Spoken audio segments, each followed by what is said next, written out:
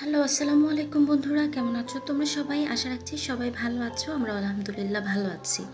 তবে আজকে তোমাদের সাথে আমি প্রায় সাত থেকে পাঁচ থেকে সাত দিন, প্রায় এক সপ্তাহের মতো হয়ে গেছে তোমাদের সাথে আমার ব্লগ শেয়ার করা হয় না। তো এই জন্য আজ অনেক আগের একটা ব্লগ শেয়ার করছি, এটা হচ্ছে সাত দিন আগের ব্লগ যখন লাস্ট বৃষ্টি হলো, সেই দিনের ব্লগ এটা।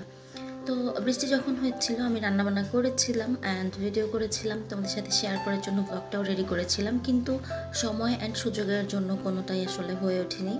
কারণ এখন এত পরিমাণে গরম, এটা কিন্তু আমরা সবাই মানে এটা নিয়ে অনেক বেশি অতিষ্ঠ হয়ে যাচ্ছে আর কি। আর এত পরিমাণে কারেন্ট চলে যাচ্ছে যে ব্লগ ঠিকঠাক মতো আপলোড করারও সময় পাচ্ছিলাম না। তো যাই হোক, আজকে তোমাদের সাথে সেই ব্ল- সেই দিনের ব্লগটা শেয়ার করছি। তো এখানে আমি সকালবেলা ঘুম থেকে উঠে একটু রুটি সেক দিয়ে নিচ্ছি।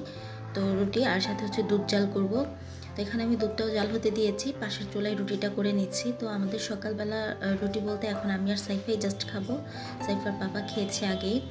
তো এখন হচ্ছে আমি রুটিটা বেলে নিয়ে তারপর আমার ফ্রিজে একটুখানি গরুর মাংস ছিল, এটা আগেরই রান্না করা ছিল। তো আমি সেখান থেকে একটু নিয়ে নিচ্ছি। তো এটা দিয়েই রুটি দিয়ে খাওয়া হয়ে যাবে আজকে সকালবেলা। তো আমি হচ্ছি এখন সাইফাকেও একটু খাওয়াবো। এই জন্য মূলত একটু আমও কেটে নিয়েছিলাম সেই সাথে। কারণ এগুলো আমাদের গাছের ফ্রেশ আম। তো আজকে আরও কিছু মানে পারব। সেটা হচ্ছে এখন আমরা খাওয়া দাওয়া করে স্কুলে চলে যাব।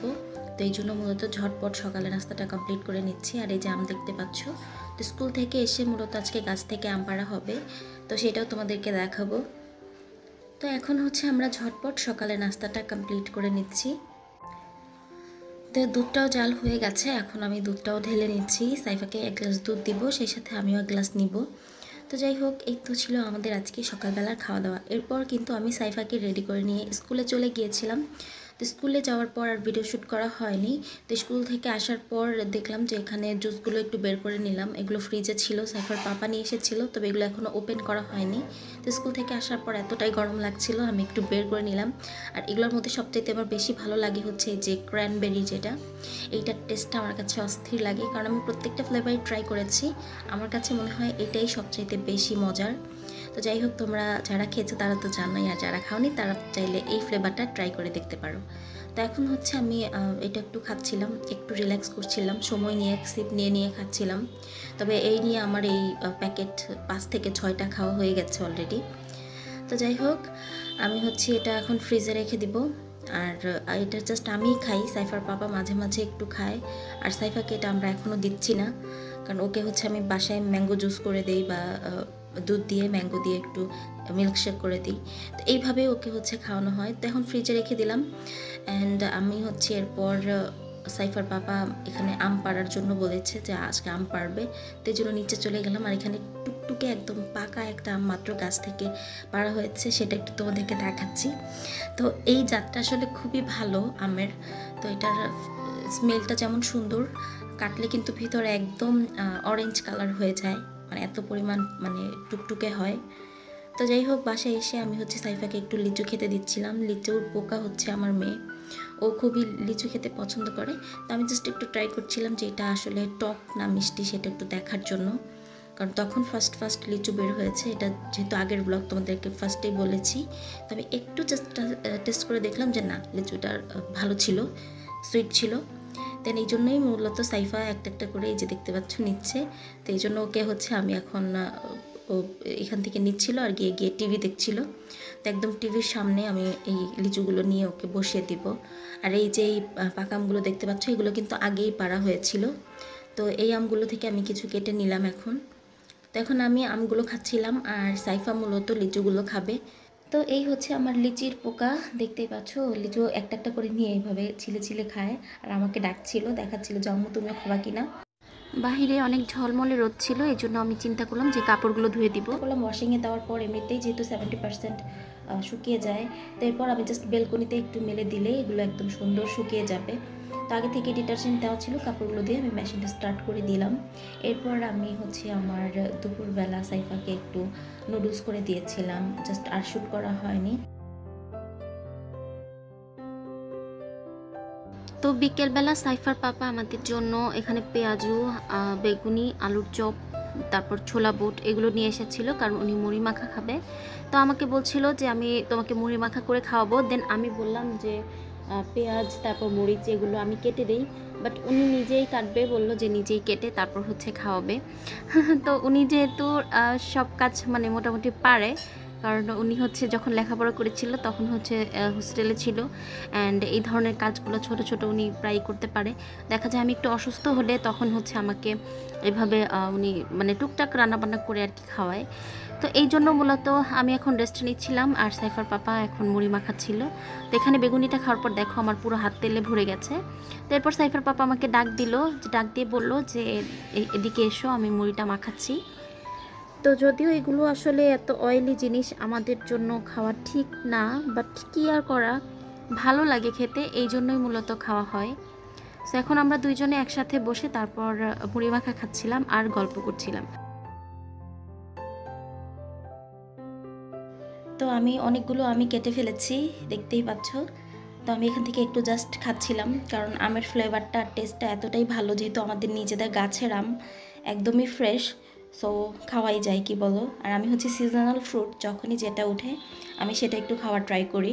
এটা জাস্ট এই সিজনটার পরে তো আর পাওয়া যাবে না, এই জন্যই। তো সিজনাল ফ্রুট সবারই কম বেশি খাওয়া উচিত। তো আমাদের যারা হচ্ছে আমরা ওয়েট লস করতে চাচ্ছি, তাদের জন্য এটা ঠিক না। এটা আমি পরের দিন টের পেয়েছিলাম, যখন আমি জিমে গিয়ে আমার ওয়েটটা আর কি মেপেছি। যাই হোক, এখন হচ্ছে সন্ধ্যার পর দেখতে পেলাম যে ঝড়ো হাওয়া শুরু হয়েছে। এত পরিমাণ বাতাস, বেলকনিতে গিয়ে দেখলাম যে ঝিরঝির করে বৃষ্টি পড়ছিল আর পুরো মানে ওয়েদার ঠান্ডা হয়ে গিয়েছিল। তো সাথে সাথে আমি গরু, মাংস আর খিচুড়ি রান্না করা বসিয়ে দিলাম। আর সাইফার পাপা একটু বাইরে গিয়েছিল, দৌড়ে এসে বলতেছে যে, বৃষ্টি কিন্তু হচ্ছে বাহিরে। তো এখন তুমি কি করবা? আমি বললাম, এই তো গরুর মাংস ভিজাচ্ছি, খিচুড়ি আর গরুর মাংস রান্না করব। তো এটা হচ্ছে আমাদের দুইজনেরই খুবই পছন্দের মানে যখনই একটু ওয়েদারটা ঠান্ডা থাকে বা বৃষ্টি থাকে, আমরা হচ্ছে গরুর মাংস আর খিচুড়িটা খুবই উপভোগ করি। আর এই টাইমটাতে খাওয়া হয় যেহেতু এখন প্রচণ্ড গরম, এটা লাস্ট যখন বৃষ্টি হয়েছিল, প্রায় দুই দিন পর্যন্ত বৃষ্টির রেস্টটা ছিল, ঠিক সেই সময়টার ভ্লগ এইটা। তো এখন কিন্তু আমরা সবাই মনে প্রাণে একটা বৃষ্টি চাচ্ছি, আর বৃষ্টির জন্য আসলে অপেক্ষা করছি বলা যায়। কারণ ওয়েদারটা খুবই গরম আর খুবই অসহ্য হয়ে যাচ্ছে আমাদের সবার জন্যই। তো যাই হোক, ওই দিনের ব্লগটা আজকে দেখছিলাম আর বৃষ্টিটাকে খুবই মিস করছিলাম।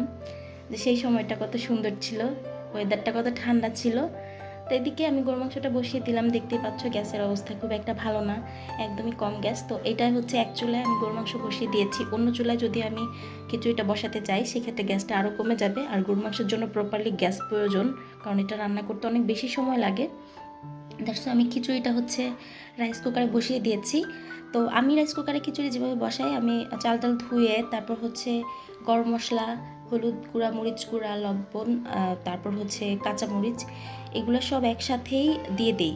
দিয়ে তারপর হচ্ছে পানি দিয়ে বসিয়ে দিই। তো এরপর জাস্ট দশ থেকে পনেরো মিনিটের মাথায় দেখলাম খিচুড়িটা রেডি আর খিচুড়ির ফ্লেভারটা একদম দারুণ, পুরো ঘরে ছড়িয়ে গিয়েছিল। তো এই তো দেখতেই পাচ্ছ প্রপারলি এটা একদম ঝরঝরে খিচুড়ি হয়েছে আমরা ঠিক যেমনটা চেয়েছিলাম। তো আমার খিচুড়িটাও রেডি এখন জাস্ট ঢেকে রাখব যাতে এটা একটু গরম থাকে আর ওই দিকে হচ্ছে চুলায় গরু মাংসটা এখনও হচ্ছে। আর হ্যাঁ, হ্যাঁ তোমাদেরকে এখন একটা জিনিস দেখাচ্ছি আমি কিন্তু গরু মাংসের সাথে এখানে পেঁপে ইউজ করেছি। তোমরা এটা খেয়েছো কি না আমি জানি না তবে যারা ট্রাই করনি তারা চাইলে একবার ট্রাই করে দেখতেই পারো। কারণ আমার কাছে আজকে মনে হচ্ছিল যে মাংসটা রান্না খুব বেশি টেস্টি হয়েছে অন্য দিনের চাইতে। তো এখন হচ্ছে আমরা খাওয়া দাওয়া করব। তো এখন হচ্ছে সাইফার পাপা আমাদের জন্য সার্ভ করে দিচ্ছে। আর পেঁপের যে বিষয়টা, সেটা একটু তোমাদেরকে বলি। আমি এর আগে চিকেনের সাথে পেঁপে দিয়ে খেয়েছি। আম্মু রান্না করেছিল মানে আমার আম্মু। আগে একবার রান্না করে খাইয়েছিল, তখন খেয়েছিলাম। অনেক বেশি মজা হয়েছিল। তো এই জন্য মূলত আজ আমি বিফ দিয়ে ট্রাই করছি, কারণ আমার হচ্ছে কাঁচা পেঁপে আর কাঁচা শশা এটা বেশি পরিমাণ খাওয়া হচ্ছে। তো এই জন্য চিন্তা করলাম যে, আমি একটু মাংসের সাথে একটু অ্যাড করে দিই, দেখি কেমন লাগে। তবে সত্যি কথা বলতে কি, এক কথায় অসাধারণ হয়েছিল। আর আমি বেশি করে পেঁপে নিব, এটা হচ্ছে সাইফার পাপার প্লেট উনি হচ্ছে ঝোলটা খেতে বেশি পছন্দ করে ঝরঝরে খিচুড়ির সাথে।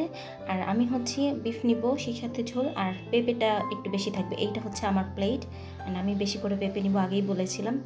তো এখন আমি আমার প্লেটটাও রেডি করে নিচ্ছি। তারপর হচ্ছে একসাথে বসে খাওয়া দাওয়া করব।